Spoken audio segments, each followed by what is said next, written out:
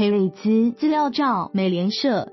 体育中心综合报道，进伤兵名单的原因百百种。德州游骑兵明年开季有可能将缺少一名主力先发投手。本季以十三胜高居球队胜投王的佩瑞兹 （Martin t o y e r s 在休赛季因被牛吓到摔伤了右手，必须开刀治疗，预计将休养四个月。